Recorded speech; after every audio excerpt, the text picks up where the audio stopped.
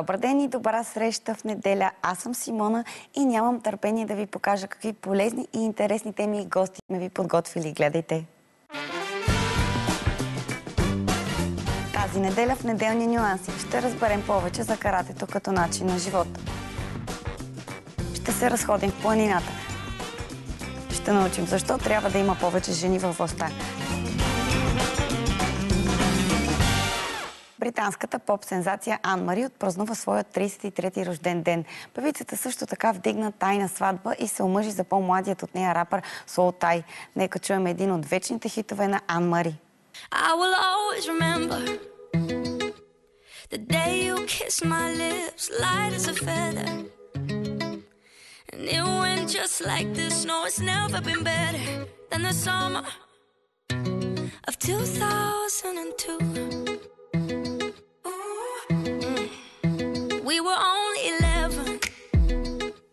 but acting like grown ups, like we are in the present. Drinking from plastic cups, singing love is forever and never. Well, I guess that was true.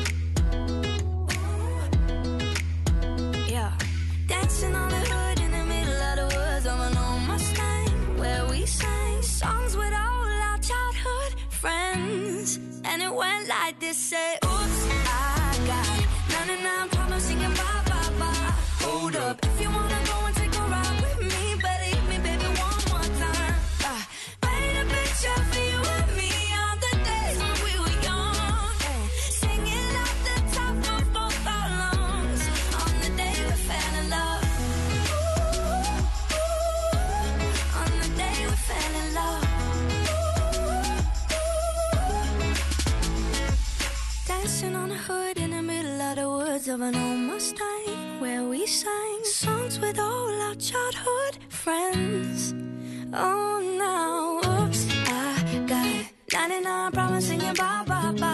Hold up.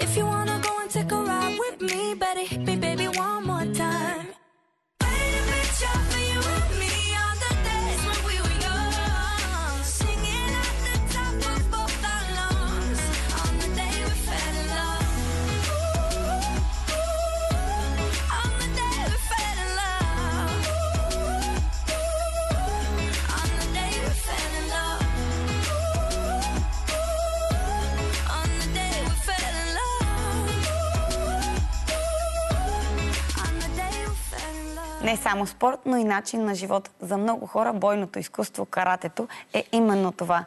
Твърдението въжи напълно и за следващите ми гости. Радвам се да посрещна най-успешните български стезатели по олимпийско карате за мъже, един от двамата и разбира се с неговата партньорка, ще са тук в моето студио, Борислав Иванов и Адриана Ганева. Здравейте и добре дошли, много ми е приятно. Здравейте. Здравейте. Аз като един спортист няма как да не започна от медалите.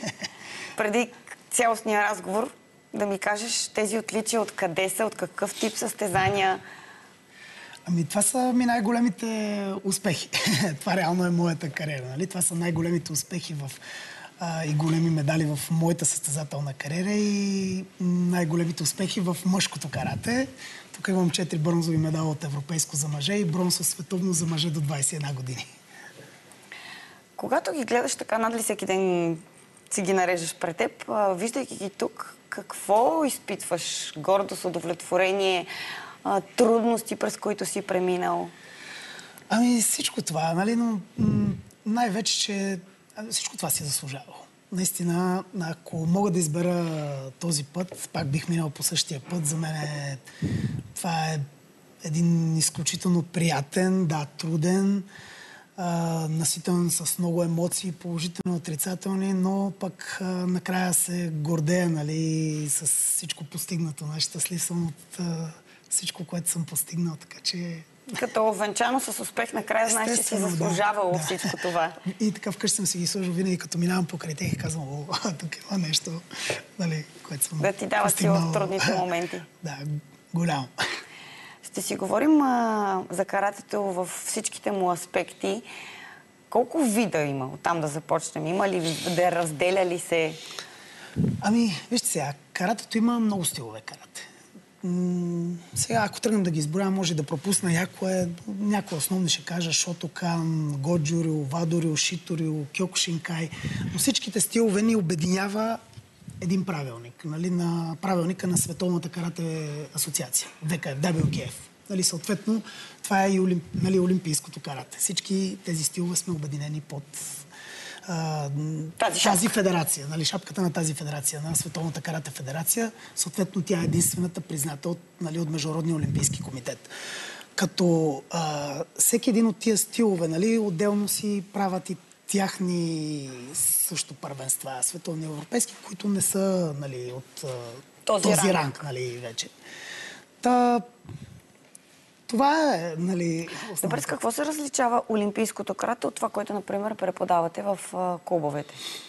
Ами, то по нищо не се различава, защото реално, нали, както ви казах, те са същите стилове, които нали, на Тоест, може би ги започвате от по-мънички, с по-елементарни неща. Не сте стигнали до това, което вече е в професионален аспект. Вижте сега, всеки един от нас се е записал в определена школа и определен стил тренира. Примерно, моят стил е Шотокан, Ади стил е Шотокан, други мои колеги имат Годжурю, Шиторю, но всичките тези а, се състезаваме в едни и същи правила. Нали, Може за едно детенце, което иска да се запише, надали е запознато така с стиловете? Да. А, Може би има е една такава разлика в двете дисциплини, които се играят. Това са ката, бой с въображаем противник и комите, вече където е реалният двубой между противниците. Може би там най-осезаемо може да се види разликата в стиловете тъй като боя с въображаем противник представя едни определени в определен ред движения, които ти играеш сам и се оценява самата техника. Тогава различните стилове имат различни такива кати. Така се нарича ката. И съответно там има най-голяма разлика и може да се види и да се усети. Но в а, комите, в реалния двубой, там реално всички стилове играят под един и същи правилник и няма такова разделение на стиловете. А, и по тази причина не може и да се усети на състезание такова нещо. Хубаво започна да ми обясняваш, но преди да продължим, искам да ми кажеш и за това ти от колко години си спорта за част от твоите успехи, да не, да не уважаваме дамата в, в студиото ни. Аз от 6 годишна тренирам карате, сега съм на 31 години. Реално аз съм първата жена европейски шампион в историята на българското карате в Олимпийската карате федерация, този общия, общата федерация. А, реално тогава бях на 17 години, в девойки се състезавах. Навърших 18 години на състезанието, на самото състезание. Това беше един подарък, подарък за рождения ден. Всъщност, сбъднатата ми мечта беше това. Да чуя химна от най-високото място на стълбичката. Това и до ден днешен ме топли този момент и ме кара да вярвам, че всичко е възможно. Стига да полагаш необходимите усилия, да знаеш и да се бориш за това, за което мечтаеш. И до ден днешен ме кара това нещо да ме води във всяка една битка, в житейските ми битки в живота, до победа. А, след това имах контузия, много тежка на кръста и ми се наложи да спра след лекарска забрана, да спра с спорта. Две години се възстановявах, даже повече, се възстановявах и в момента отново съм в залата. Но като състезател или като треньор? А, няма да се състезавам вече на европейски и световни състезания, но Липсва ми много състезанията. Аз сте липсват... спортист, който да, да, да изляза от големия така, шорт. Бих, бих се... на държавното Да, ще участвам, да, ще участвам на държавното първенство, но няма да успея да се върна в тази форма, в която съм била. А и контузията ми е толкова сериозна, че не мога Знаеш да си ли... позволя такива тренировки. А, не, малцина са хората, които а, разбират. Аз идеално разбирам какво е след тежка контузия и след тези една брой години да се върнеш, макар и за държавно, да. което никак не е за подценяване, защото ти вече не си на 17 да. и си преодоляла една операция. Така че а, сигурна съм, че усилията, които полагаш в момента, за да си във формата, която трябва да бъдеш, се равняват със сигурност повече и на тези, които в началото си давала за това. Ами, може би сега е момента да призовем всички хора да не спират да вярват в мечтите си и като ние, като спортисти, да им дадем този пример. Никога да не се отказват в живота. Винаги може да се върнеш, но и не всичко е на всяка цена. Искам да започнем от началото на историята за бойното изкуство и за каратето, да я разкажете пред нашия ефир. Ами, карате е японско бойно изкуство. Създателя му се казва Гичин Фунакоши, в началото на 20 век го основава. Той е основател и на стила, който ние практикуваме, Шотокан. А, в а, първото голямо състезание, световно първенство, се провежда през 1970 година в Токио. В а, България официално федерацията не ни е от най-старите. По-млада федерация сме. Началото е през, от 1992 година. А, първият медал от голямо първенство го печели българин през 1993 година това е година след основаването да, на федерацията. сребърен медал при на мъже до 21 година. Състезателят Росин Димитров се казва. И започва после нашата история. То, тоест, вие и пишете част от да, българската да, история на каратето, да. така че... И вече първият мъжки голям медал е моят през 1999 година в Халкида, Гърция. Печеля първия за нашата история, нали, при, въобще при мъжете и жените. Нали, така че нали, един дълъг път. Нали, сега има малко по-лесно на младото поколение, защото има на какво да се облегнат. Нали, има някаква слава, знаете, има и олимпийски шампион Нивет Горанова. А, така че сега е доста по, нали, лесно върват по отъпкан път, докато ние тогава не знаехме как става. Просто така имахме е, едно сърце, е. една глава. Но пък много по-големи се, тренирахме, бяхме много амбицирани, имахме силни характери. Не знаехме как се получава, но го искахме много и... А днешните деца, тъй като и двамата работите и преподавате, днешните деца имат ли тази амбиция? Ами, децата, които активно се занимават с спорт като цяло и особено с карате, забелязвам в тях това, че ги изгражда като хора, като личности и като състезатели с течение на времето. Не при всички, разбира се, но има голяма част от децата, които успяват да запазят, да, да се задълбочат в карате, да искат да, да ходят на състезания и не само, искат да ходят и на изпити за колани, което е нещо много хубаво, защото там реално получаваш такава квалификация вече с годините и успяваш да демонстрираш по-добри умения и по-добра техника. Техниката е изключително важна и за състезанията. Не са фокусирани само върху състезанията, но ми харесва, че се изграждат много като личности, стават по-дисциплинирани, по-уверени, по-мотивирани, по-концентрирани, успяват да намерят баланса и в, между училището и тренировките. И най-вече ми харесва това, че разбират принципите и философията на карате, а именно, че не, за тях не, състезанието не е само печелене на медали.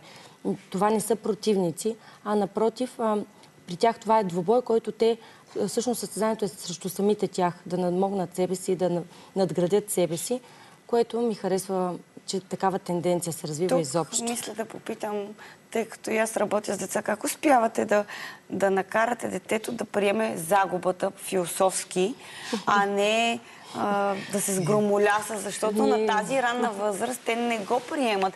Това благодарение на, на самият ви спорт ли е? Или на вашата да методика, каже, по която... Може да се каже, че общо взето всичките смятам, нали, така, че повечето инструктори така говорят. Значи ние им казваме, ей, това е крачка напред. Това е поредния урок. Ние от загубата можем да се научим, от която няма какво да случиме. Той знае, че така се изгражда, продължаваме да работим, продължаваме да тренираме, учиме ги, като излизат на сцена, независимо дали губят или печелят, винаги се забавляват, да, да. изпитват настроение. Нали, пак това, което да допълня тук, Ади, с много от родителите си говорим, и за нас е най-голямата победа да го изградиме това дете като човек. човек. Да. Нали, това е на първо място. Нали, да, ще имаме победи, ще имаме загуби, но като срещне на някой родител и като ми каже, ей, той е изключително концентриран, много е подреден вкъщи, а, много е самостоятелен, Да. изградил е дисциплина. Скоро срещнах един родител и изключително ми се хваляше от детето му. Той вече учи медицина и той казва, аз и майка му не можахме да му дадем това, което му даде спорта, залата. Вика, остави медалите, нали? Смисъл, това е част. Нали? Изгражда спорта като цяло много, много. И дисциплина, и, и борба вътрешна на характера, не само на противника в случая, в, както е при вас. Аз винаги казвам на децата след състезания или преди състезания, понякога печелим, понякога се учим, никога не губим. Така че... Това, това не е само на децата, има много хора в реалния живот, трябва да го кажете. Кога в, в, в вашите пътища разбрахте, че всъщност спорта ви е начин на живот? Знаете ли, интересно е, че аз а, тренирам от 14 годишен. М, 8 клас бях тогава. До третия месец, докато тренирах, малко го правях на сила, нещо не ми беше много интересно. Но след третия месец, а това са били началните стъпки, които постоянно повтаряне, повтаряне. След това време така започнаха по-интересни неща да ми се показват и успях да се пленя от а, карате. И няма да забравя още на следващата година, една година по-късно, казах, е, искам моят живот да бъде един ден да стана треньор по карате, искам да стана добър спортист. Нали, исках го това нещо, още от тогава. И нали, сега вече години по-късно нали, се сещам за това нещо. Тогава споделих с моето семейство един ден, искам да съм треньор по карате и наистина живота ми е това. Нали, станах, В тази връзка- спортист, станах треньор. В тази връзка аз искам да кажа, че треньорът е много важна част от това как ще се развива едно дете. И аз съм имала големия късмет да попадна след като се преместих от Плевен в София и започнах да се състезавам в София, което беше на 12 годишна възраст. Боби беше моят треньор и има моменти на колебание в мен. И пубертет, и други, за- да, и други неща. Но човека, който ме палеше преди всяко състезание или за, по време на лагер, или когато падна духом, а и дори след контузията, да се върна в залата, изобщо да се върна към това, да, към вярата в себе си, че мога да се преборя с това нещо, въпреки лекарската забрана, да продължа да тренирам, това беше Боби. Но безспорно а, Така че треньорът е треньорът е- основната патерица на състезателя. Той, ако е. няма подкрепата, когато на един подрастващ организъм или на един а, така, в едно падение в състезателният а, цялостният състезателен план на състезателя падне треньора, ако не е там, как да се изправи този? А, няма значение дали е момче, момиче и така Да. нататък. Добре, аз мога ли да се възползвам ти като един треньор да ми покажеш нещо, като аз един начинаещ, въпреки че като гимнастичка имам някакъв опит, мога нещо по-да сътворя. Ами не знам дали аз съм по-добре или Боби, като Който защото той, е- той е който треньор. Изобщо Добре. Аз съм се подготвила. Ето, свалям си обувките. Под рокличката, да кажа, не се притеснявам, съм си сложила клинче, така че не се притеснявай. Винаги заставаме срещу човека, срещу нас, партниращия или противника и винаги се покланяме. Нали? След което заставаме, сърце напред в йоги. Сега ще ти покажа един блок срещу удар, който ще направиш срещу мене. Този блок се казва агилке, срещу удар нанесен към главата. Нали? Първо да го изтренираме бавничко, Тоест, по този на начин. ръцете. Да, по този начин. А сега ще застана и ще започва бавно да правя удари. Аха, и аз трябва да спра Да. твоята ръка, така ли? Точно така. Нали, естествено, а това, това нещо трябва... на ръката? То, а... Тоест да так- посрещаме удара с тази ръка, с тази част на ръката. Да, да го блокирате. И това нещо се случва, това нещо се случва, нали, естествено с много голяма сила и скорост, Да, да, както и блока, предполагам. така и удара, нали? Добре, значи това, това движение Да. ще го науча. Не е толкова трудно. Точно така. Поне имам а, двигателна култура. А нещо с краката? Ами, Гери. Аз да, съм а, любопитна. добре. А, сега ще ви покажа един друг блок, който се казва Геден Барай. Това е срещу удар с крак. Точно така се прави. Така, аз ще застана срещу вас. Чакайте, да- аз не разбрах тази А, така да. и после така. Така.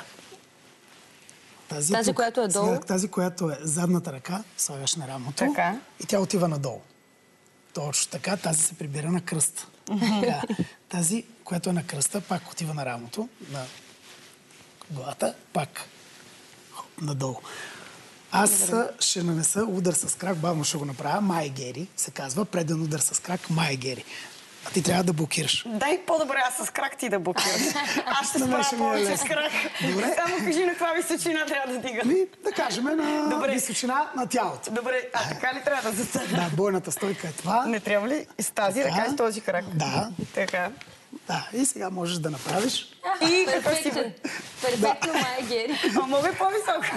Това вече беше И няма ли накрая нещо поклон На- или Накрая как се винаги прави? поклона. Така. Стойка му собидачи, ръцете си спънати тук. Поклон, рей. Ус, казваме каратистите. И, и за началото, и за края е ус, Да, така ли? винаги. Да. Това е И винаги има противника. уважение към противника преди началото на схватката и след схватката. Това също е отличаващо.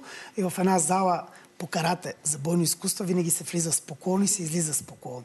И всички Може ще ви покана в трениращи... моята зала да научите гимнастичките как да влизат спокойни и да излизат спокойни. Всички трениращи в залата а, винаги ги строяваме и всичко изпълняват под команда. Има така да се каже един а, вътре казармен режим. Нали? Точно това е всъщност а, вътре дисциплината, която изграждат. Всяко упражнение го правят под команда. Нали, когато някой не се приказва в зала по карате, и ако някой приказва, го наказваме с лице и опори. Ама то това наистина е а, много желязна дисциплина, защото в много малко спор, спортове успяват децата да влязат с уважение и с поклон и да, да не се говори. Сега, няма как да не се говори, когато са малки децата, но нали, се стараем се да държим на тази опитваме се дисциплина. Да държиме на това нещо. Но все пак деца са. Трудно ли се справяте с децата, като изключим дисциплината? А, имат ли тази култура двигателна, бъс, бистър ум, така, бързина на тяло, на крайници? Или как говоря като съвременните деца на база на твоето поколение или на твоето, няма значение? Ами вижте сега, с... аз в принцип много обичам децата и наистина и много е приятно, но наистина е и, Изтощително. и, и трудно, и изтощително. Нали? Да. И сега аз съм бил състезател и на мен ми е било много лесно, защото друг е мислил за мен, но сега като треньор виждам, че е доста трудно, защото всеко е с различен характер детенце, с различна, различно мисли. Нали? М, И трудно и лесно е. И с различни изисквания, всяко дете Да. себе си, всяко дете е индивидуално. Различна емоция. А по, по-разглезени ли са днешните деца от предишните поколения? Има го това. Има го това, да. Може би да. Може би преди не сме имали толкова много възможности за, за различни неща, които сега имаме. То са часовници, звънат за- в залата, нали. Всякакви такива технологии, ако Да, да, щете, които- които в момента те Живеем са в навсякъде. технологично общество, което нали, дава много повече Свобода. свобода развлечения, И може би занимания, интереси. От тази Тогава гледна бяхме точка. малко по-ограничени в тия неща и нямахме какво друго да правим, освен училище, спорт. Какво ви предстои като състезателен план, период и на база само на а, турнири в България ли се разпростирате или имате и в чужбина? Пътуваме много също. А, нали, аз имам мой клуб. А, участваме, имам състезатели, които представляват и националния отбор на България и при мъже, при жени, юноши, младежи. А, участваме, освен от състезания от вътрешния календар, предстои ни даже след две седмици държавно първенство за деца и следница след държавното първенство за деца и държавно първенство за старша възраст, младежи, мъже и жени. А, участваме и в доста международни турнири. Има такива едни световни младежки лиги, турнири серия за мъже, а, премьер лиги. Те са като в художествената гимназия, като гран при турнирите, Точно нали? турнират Имаме европейски, купа. да, световни първенства. Така че имаме участия постоянно с децата. Сега бяхме уикенда на един международен турнир в а, Велико Търново, така че участваме постоянно. В Олимпийска година сме. Какво се случва с спортът? За съжаление, карате не е част от олимпийските спортове. Да, за това Което е питам голяма какво се загуба случва, защото... За карате общността в световен мащаб. А защо така се случи? Това е решение на, доколкото знам, на организаторите на сегашната Олимпиада в унисон с Олимпийския комитет. Боби по-скоро да каже, но понеже аз имам много близки отношения с Ивет Горанова, Съответно, това е загуба и за нас, България, като спорт. Това, много разчитахме на каратото за следващата Олимпиада. Това са ресурси, подготовки в състезатели, които искат да се реализират и няма да имат тази няма възможност. да имат къде. Да. състезатели са и, имаха и стимул, имаха амбиция. Всеки вярваше в олимпийската мечта. Всеки се надяваше, бореше се, тренираше, амбициран. Ами няма да бъдем и за следващата Олимпиада, за 2028 също. Няма да бъдем част от олимпийското семейство. Имаше много добри отзиви след Олимпиадата в Токио като цяло за карате, но м, предполагам и политика до голяма степен. Със сигурност. Със сигурност. Ами на вас да ви пожелая, освен да, тези мъничките, които ги взимате сега и ги започвате, докато те се реализират, отново да ви върнат в Олимпийското семейство Надяваме и да се. продължавате да сте все така отдадени към това, което правите. Много ви благодарим и ви пожелаваме на вас много успехи, да имате все по-успешни състезатели във всякакви спортове, които да каните. Благодаря, благодаря ви. Много ми беше приятно.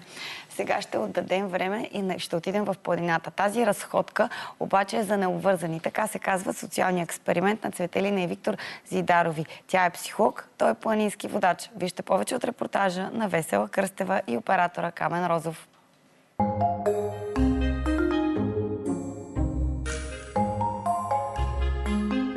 Разходки за необвързани, поне за нас е един а, социален проект, а, който а, социален експеримент тръгна просто като една съвсем спонтанна мисъл, една, една съвсем спонтанна идея, която обаче така се превърна в една инициатива, която да свързва хората и да подпомага общуването а, в планината и да някакси да може да създава един мост между хората и да създава един контекст за общуване.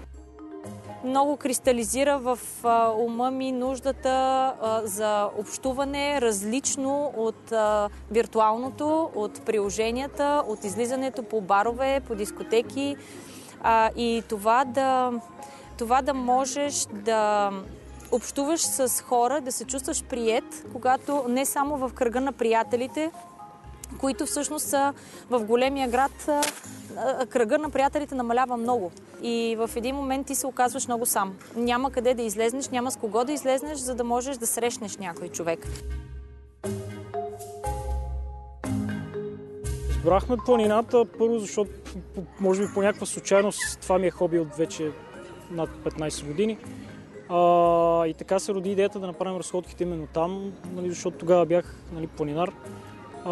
И ходех редовно и така познавам някои маршрути. Идеята беше да го направим на място, където хората да могат да се разходят, да общуват свободно, И не само за мен това да бъде планината е, защото това е едно място, където ние сме много естествени. А, много сме човеци. Не сме толкова свързани с професията ни, не сме свързани толкова много с имиджа, който трябва да градим, с начина по който трябва да изглеждаме, с ролите, в които трябва да, а, да- трябва да се вписваме и въобще да общуваме. Нали, някак си там се свързваме с планината, там сме много по-първични, сме много по-приближени към а, същността на нещата.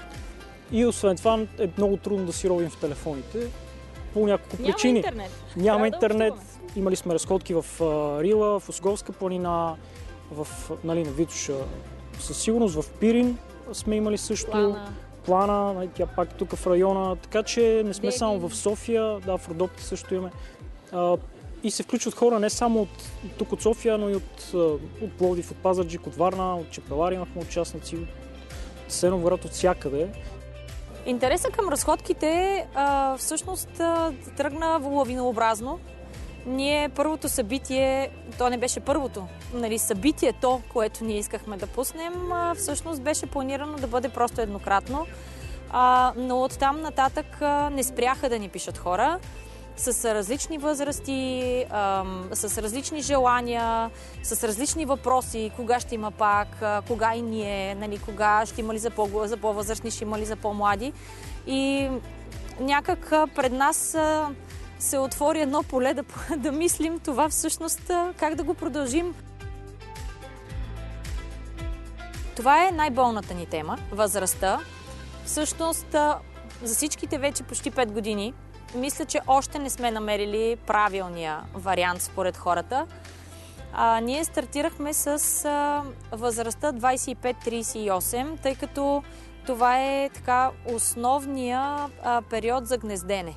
Така наречения нали, период за гнездене, когато а, човек търси половинка с цел създаване на семейство и тогава са най-силни тези процеси, в които имаш нужда да срещнеш някой. Но а, оказва се, че покрай, покрай всички тези промени, разводи, които нали, напоследък се случват, има много динамика. И всъщност се оказва, че хората се оказват в този, в този процес на гнездене в, на различна възраст. И ние започнахме да експериментираме в тази част. Започнахме с а, 25-38. После се появиха въпроси 45 нагоре, ще правите ли, нали, искам да се срещна с хора около нашата възраст. И там установихме едни много, много, много интересни неща, които ние все още нямаме отговор на въпросите. Продължаваме да търсим каква би могла да бъде причината. Но когато обявяваме разходки над 40, 45 годишна възраст, а, предимно се записват дами, основно дами и почти няма кавалери. А, има хипотези, че на кавалерите на тази възраст не им се ходи по планините, мързи ги, а, обичат да пият бира пред телевизора. Нали, такива хипотези сме чували. Не знаем коя е, не знаем какъв е, какъв е отговора. Някои други казват, може би вече са се отказали а, на тази възраст да търсят половинки. Не ми се вярва. Но а, под пък 30 години, когато имаме разходка 20-30, там пък са предимно момчета. Не всички ни казват, нали, когато са се събрали. Често се случва да разберем в последствие. Хората не са и длъжни, разбира се. Това е лично пространство, ние го уважаваме. А, но знаеме, да, за 3-4 бебета. Официално знаем за 3 бебета. Знаем за 4 семейства с брак. А, знаем за много двойки, които са преживяли неща заедно. Някои от случаите ги виждаме да пламват на момента, на секундата. Случвало се дори по време на разходка, просто двойката да се отдели и дори да ни кажат, ние ще продължим да се разхождаме без групата.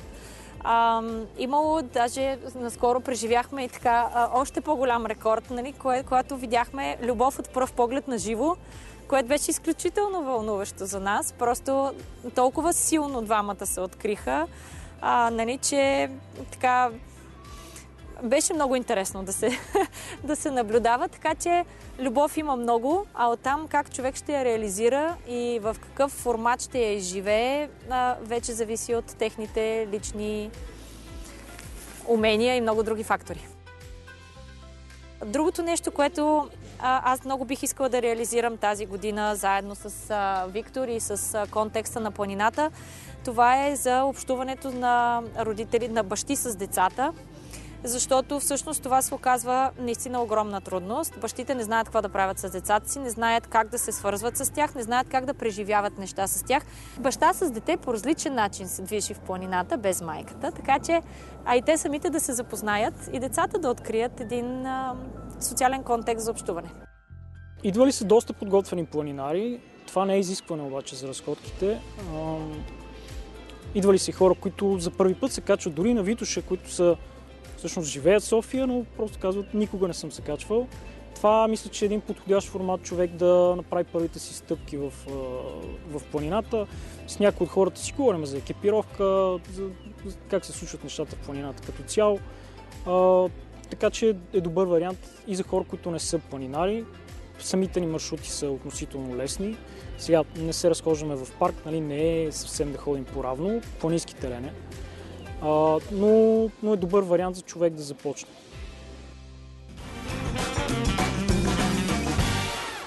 Време е да обърнем внимание на дамите, защото ние жените можем всичко. Смята се, че много жени са обременени с идеята, че света на политиката е главно за мъже и поради тази причина дори не дръзват да развиват своят потенциал. Защо това се променя, ще разберем от следващите ми гостенки. Оставям на вас да се представите. Здравейте и добре дошли. Ще си говорим по една важна тема за жените и тяхната сила. Ами здравейте, аз се казвам Евелина Цилева и съм един от основателите и председател на неправителствената организация Повече жени във властта. Дами, вие двете да се представите за нашите зрители, ако обичате. Аз се казвам Пламена Коева и съм студент по право в Нов Български университет втора година. Аз се казвам Гергана Кутелова, студент от Софийския университет Свети Климент Охридски, специалност европейстика, четвърти курс. Млади, още студентки, затова първо към теб, Евелин, нали може на ти да премине се. разговор. Повече жени в властта. Това е името на организацията, която, на която ти си избрала. Защо се спря на това име и какво, откъде дойде цялата идея? А, цялата идея дойде преди две години, а, когато имахме възможността да се запознаем с дейността на подобна организация в Гърция.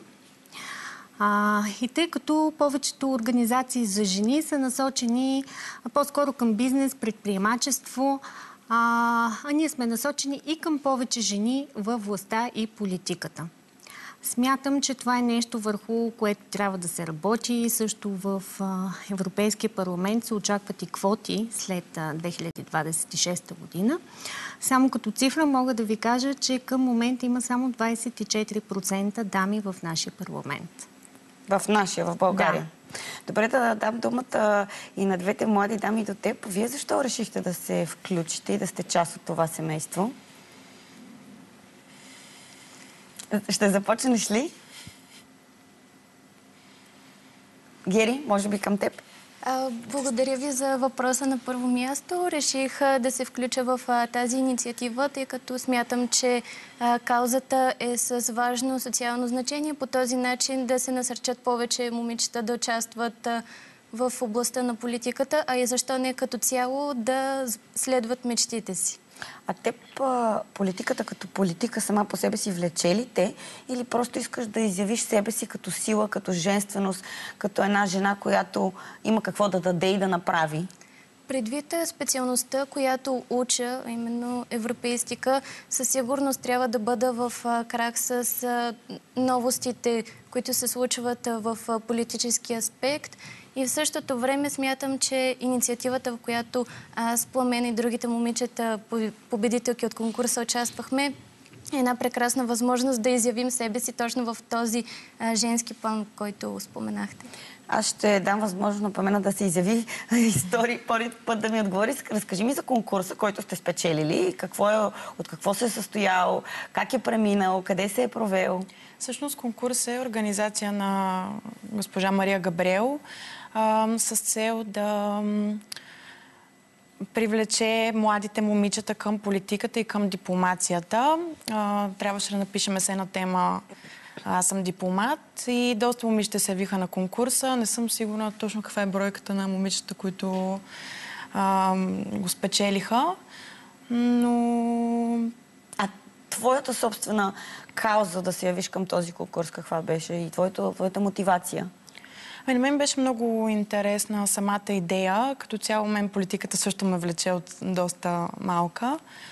А, и исках да опитам и всъщност ми хареса доста. Успях и сега проектите, с които се занимаваме и всички а, събития, които се организират в последствие вече на конкурса, а, са много интересни. Със сигурност ще продължаваме да се занимаваме с това.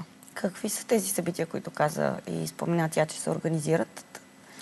А, нашата организация а, ще има така бъдещи инициативи. Това са семинари, специални обучения, насочени към а, младите дами.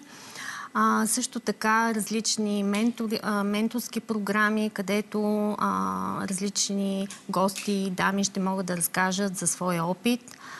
Добре, да започнем от, може би, от а, семинарите, с които искате да приобщите младите момичета. Има ли възрастова граница, група, таргет или да кажем малко по-легнали жени могат ли да взимат участие?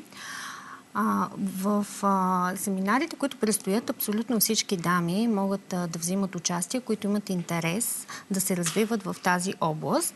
А, като а, специално семинарите за, за млади дами са насочени към а, така, а, тази възрастова група, както са Пламена и Гери, а, които те първа а, ще имат възможността да се развият в тази област. Те са студенти.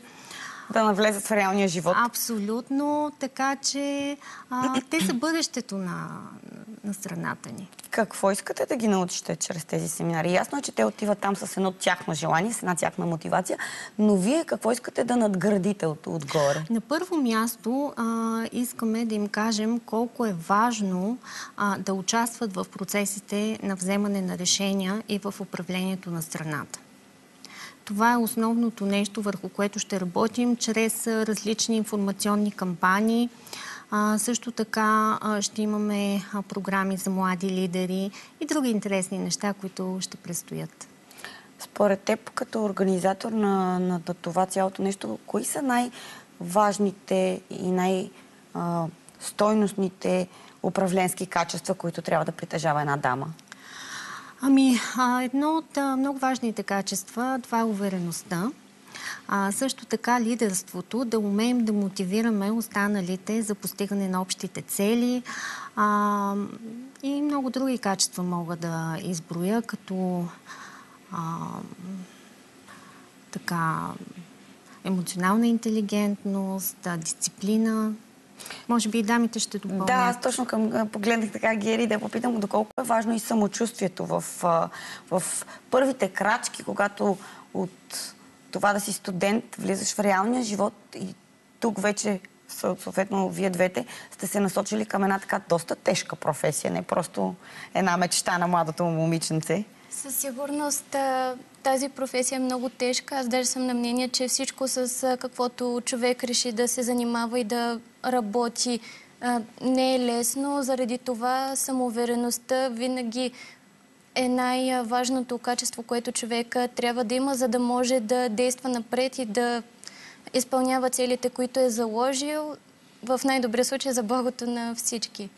А вие имате ли възможността на тези лекции и семинари да предлагате нови идеи? Има ли такава категория, в която младите казват какво смятат, как го искат, какво е хубаво да се направи съвместно? Абсолютно. Това е а, много важно а, и а, смятам, че а, най-прекрасните идеи идват от самите тях, а пък а, чрез нас а, можем да им помогнем за осъществяването. Ти спомена и, че ще има ментори. А, вече спряли ли сте се на някои конкретни лица и какво всъщност очаквате от тези ментори? Ами, а, идеята е да младите дами да бъдат а, мотивирани и насърчени да се включват активно в обществения живот на страната. Много е важно, наистина пак се повтарям, да участваме всички в процесите на вземане на решения, защото това е нашето бъдеще. А, ние целим да използваме а, колективната интелигентност на жените за създаване на устойчиви политически а, решения за бъдещето на България. А какво застрашава равенството между половете в политиката и властта? Ами, а, това е... Защо говорим за силни жени, за жени, които искат да навлязат, да станат равни с другия пол, където повече се говори, че мъжката аудитория взима част в политиката. Това е така, не само в България и в повечето страни, в световен мащаб, разбира се. А, ами има много така, стереотипи, които трябва да се разчупят, да ги преодолеем. А, и а, смятам, че в близките няколко години ситуацията доста ще се подобри. А, и така ще имаме изявени дами. И в, а как гледат мъжете на този пробив от женска страна в политиката? Ами бих казала, че до момента а, подкрепят цялата инициатива. Не зная доколко а, така смятат, че нали, в близко бъдеще може реално да се получи това равенство и баланс, към което се стремим. А, но така срещаме подкрепа, наистина. Добре, аз до някъде съм съгласна, че а, всяка една силна жена иска да изяви себе си още и още и да докаже, че може повече от това, което едно време са правили жените. Но по този начин не ставаме ли обременени с една по-голяма тежест, отколкото пък в даден момент просто обръщаме и казваме, то ние жените всичко правим, то нищо не остава за мъжете. Няма ами... ли е тази граница, която е хубаво до някаква степен да не се преминава? А, абсолютно съм съгласна. Ние не искаме да преминаваме границата и аз вярвам, че най-доброто винаги е баланс. А когато има баланс във всяка една сфера на обществения живот, тогава смятам, че нещата се получават по най-добрия начин. А, тук не става въпрос да преминаваме граници, тук става въпрос, че много дами наистина смятат, че политиката е повече за мъже и въобще лидерските позиции във всяка една област а, наистина са повече за мъже и че а, жените а, така нямат необходимите качества. Напротив, смятам, че понякога ние дамите а, взимаме по-адекватните решения и се справяме добре в много ситуации. В началото на разговора каза, че а, идеята за организацията сте я взаимствали от а, Гърция. С кои други държави си партнирате, обсъждате идеи, ставате преноса причастни с някакви техни казуси или общи семинари, които правите? За момента а, смятаме да обединим а, първо такива организации, които сме на Балканите а, и а, в така в близко бъдеще може би да има едно общо събитие а, което а, да можем да го направим съвместно с организациите, които работят в съседните държави. По някакъв начин, а, по-скоро въпрос към младите дами, а, вашите студенти, познати, приятели, как приемат тази ваша посока, в която тръгвате? Защото предполагам, че не всеки подкрепя, нали? Не, разбира се, не може всички да искат едно и също. С какви очи се гледа и като плюсове, и като минуси? Моите приятели са много щастливи за мен, много са развълнувани, постоянно искат да им изпращам снимки, а, интересуват се. От какво а... се интересуват най-много? Какви са най-честите въпроси, които задават към теб хора, които не са тръгнали по твоя път? Ами честно казано, не ме питат за самия процес, а по-скоро ме питат ам, дали е трудно, ам, кое точно ми харесва. Може би не ме разбират на този етап, но се вълнуват все пак от а, това, което преживявам. Гери, аз към също... теб същия въпрос.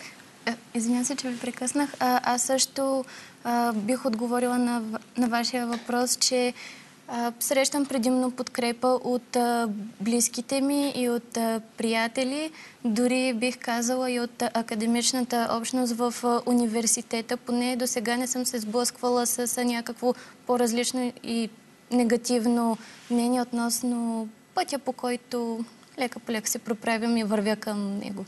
А по-скоро като чисто любопитство ли е или като технически неща, през които трябва да преминеш? И какво правите на тези семинари, които се събирате и обсъждате? Със сигурност при мен ме води а, любопитството и мотивацията да научавам а, все повече неща, защото бих искала в а, бъдеще да бъда един добър експерт, анализатор точно на такива въпроси, политически от европейски и международен характер. И смятам, че такива умения, освен в университета, могат и в а, извън академични дейности да се придобият и най-вече практически такива. Затова с нетърпение, с а, радост участвам. Засегна повече външната политика. Това означава ли, че не се вълнуваш и в българската част на политиката? Не, а няма такова нещо. Със сигурност се вълнувам и какво се случва вътре в страната, защото в политиката всичко е взаимно свързано. Това, което се взима като решение на национално ниво, има своя отзвук и в външно-политически план, така че се стремя да бъда в крака с новостите, които се случват и на национално ниво. Страхотно отговаря. Тя не вече на 25% вляза в нещата. Ам, учите ли ги тези млади момичета на етикет, на обноски, на поведение, на риторика? Абсолютно. Това са а, така основни неща, върху които ще заложим. А, също така протокол. А, така че те първа ще има интересни събития в тази насока и семинари и специални обучения. Тези обучения по какъв начин протичат? Седмица, половин ден, с записване ли стават? Трябва ли да са дамите член на организацията или не?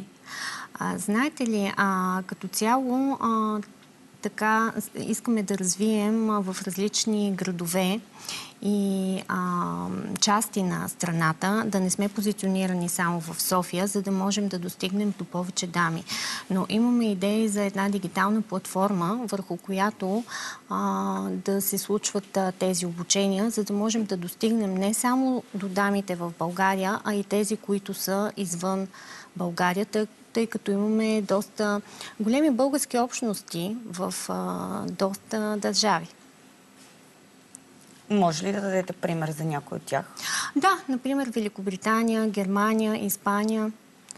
Това са а, държави, в които има прекрасни българки, завършили а, различни университети, наложили се в техните професии, а, които милеят за България и а, които с удоволствие биха се включили към а, а, организация като нашата и в такива обучения и инициативи. За тези две години, откакто стартира идеята, до каква степен се реализира такава, каквато ти си си я представила? А, искам да споделя, че в България, за съжаление, нещата се случват по-бавно и по-трудно, отколкото в а, съседните държави. А, ние за момента а, така сме дами, които всичко си правим сами, самофинансираме се а, и залагаме наистина на така а, по-малко на брой семинари, но качествени, като плануваме така да участваме в а, различни европейски проекти и да разгърнем дейността си. Започнали сте вече някои от тези проекти, поне като тема или като да, идея? Да, работим в момента, но все още нямаме реализиран проект. А има ли някои от а, известните имена в България, които са част от а, тази организация или поне дали като ментори, дали като подкрепа? Ами, а, ние наскоро имахме едно събитие, на което а, и тези две млади прекрасни дами бяха гости. А, събитието а, беше под патронажа на госпожа Мария Габриел а, съвместно с а, госпожа Заки Ел Мидауи, която е доен на дипломатическият корпус в България. А мотото на събитието беше Жени, мир и сигурност. Така засегнахме а, те, тази важна тема, която и към момента е доста актуална в целия свят. И смятам, че се получи много ползотворно и добре. Гери, ти разбрах, че си била и ти там. Впечатление да кажеш твое лично. Да, бях там, защото а, благодарение на конкурса, организиран от Министерство на външните работи, жените и дипломацията посланик за един ден, аз спечелих възможността да прекарам един ден именно с доена на дипломатическия корпус, нейно превъзходителство госпожа Мидауи. А, за мен беше изключителна чест. Радвам се, че бях част от а, това събитие поканена, като даже имах възможността да облека а, мароканска традиционна одежда, именно а, техен женски кафтан. Чувството е неописуемо и още веднъж радвам се, че бях част от това събитие. Те ли я донесха? Да, да, от тях беше осигурена. Аз имах право да избера а, между два кафтана и избрах а, и този, който ми допада повече. Обаче виж как и светят очите, като говори. Има емоция, докато преживява всичко. Тъй като сме към финалът на нашия разговор, какво искате в близко бъдеще да постигнете? Какви са вашите първоначални от тук нататък моменти за реализация? Ами, искаме да изградим а, в близко бъдеще една мрежа а, от а, дами, а, пак казвам, не само в а, дамите в а, България, но и тези дами, които са зад граница, където да можем свободно да общуваме, да обменяме идеи, а, също така да виждаме какви проблеми има а, в а, различните места и съответно а, по този начин да се раждат и идеи за бъдещи а, така, инициативи и обучения. Повече жени във властта. Благодаря ви, че бяхте мои гости. Желая ви много успехи да продължавате да реализирате това, което сте си поставили като цели. Много ви благодарим за поканата. Така завършват днешните неделни нюанси. Бъдете с нас и следващата неделя, точно в 12 часа и 30 минути. За всичко може да ни пишете на имейла на предаването или в страницата ни във Фейсбук. От мен Симона с пожелание за един спокоен и приятен ден. Yeah, we were talking, oh so close. On this Friday night, a million faces overdose. and yours I happen to find with a smile that exploded across your face and their mind. It's got me wondering how is it gonna be without this bottle of wine?